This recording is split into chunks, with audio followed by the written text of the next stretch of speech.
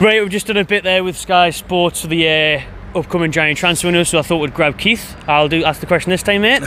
your favourite deadline day working for Sky Sports News? Yeah. Well, I mean, the one with Andy Carroll that just passed was was very good because obviously the the day was just taken up with when we arrived in the morning, there was no hint that Andy Carroll was was arriving. And mm. then as the day went on, little bits of news came out, and then obviously we were outside the ground there as he drove in um, to. I think he'd had his medical already, but just to sign the papers. And we actually got into the uh, dressing room and did an interview with him. I think with half an hour of the, the window ticking down. So um, that was that was quite dramatic and it was quite enjoyable. But for some certain reasons, it was a little bit frustrating for me. Um, but I won't go into that. But um, actually, the, the, probably the, the, the one that I've probably enjoyed the most was actually the one the previous January with when Slimani and uh, Dubravka I think arrived in the, the same day. So they actually there was a match that night. I think Newcastle were playing. It might be in Burnley here in a league match.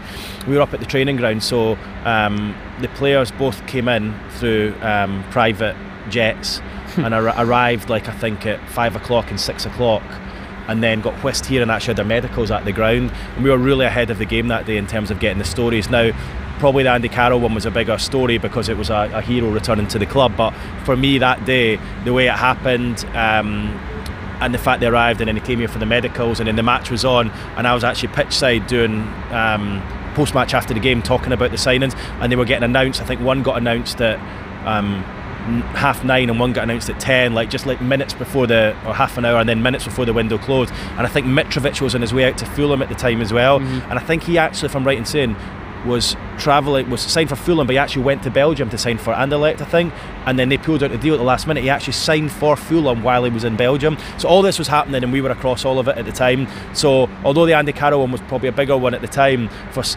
that was the most dramatic one I'd had in a long time, the one with Dubravka and Slimani. Mm. So I actually probably enjoyed that more, and it was punctuated by the match as well, which kind of just added a little bit of drama. The fact the players were having the medical while the while the match was going on on the pitch. Kind of like Almiron last year, wasn't it? You know, when he when the news broke before the City game, that huge win that yeah. he, he, was on his way, we broke the transfer record at the time. Yeah, I mean, yeah, I mean that was probably the the probably biggest deal um, I've sort of been involved in late in the window. But the reason I'm saying the reason I'm, I'm picking the, the one the previous year was because the Almiron deal was pretty much done the day before. Yeah. So we actually got the pictures of him arriving by helicopter. I don't know if you remember. Yeah, it was like a really freezing cold day, and that was a brilliant day. You beat Man City the night before. I think the news broke maybe about uh, two hours before the Man City game. so that yeah, that 24 hours was, was was amazing and really good to report on. But once deadline day itself arrived, his deal was pretty much done. So it was almost just like it wasn't a surprise. Whereas Dubravka and Slimani both came really out of the blue. So that was like when I went to my bed the night before that, I didn't think those two. I had no idea those two were going to happen. Whereas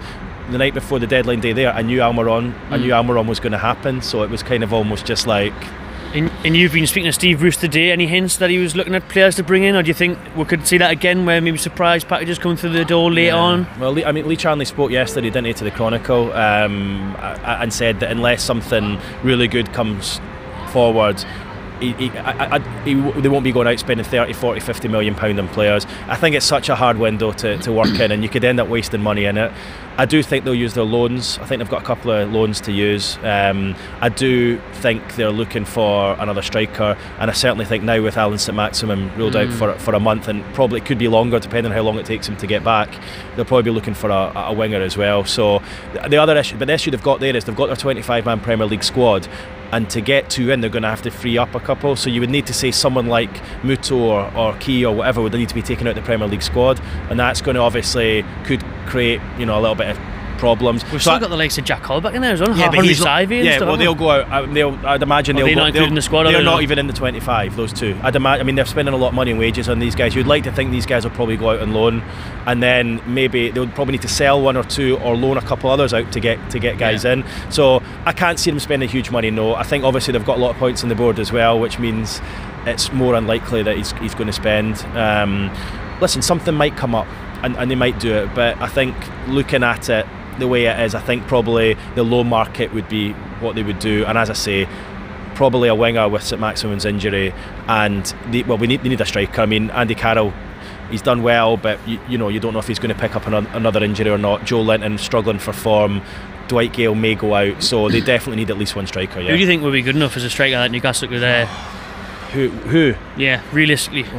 God, I mean, it's. I mean, you're looking. I mean, the guy. the guy I think Newcastle should sign is Morelos from Rangers Yeah. in Scotland. He's unbelievable. He's um, he is ready made for the Premier League.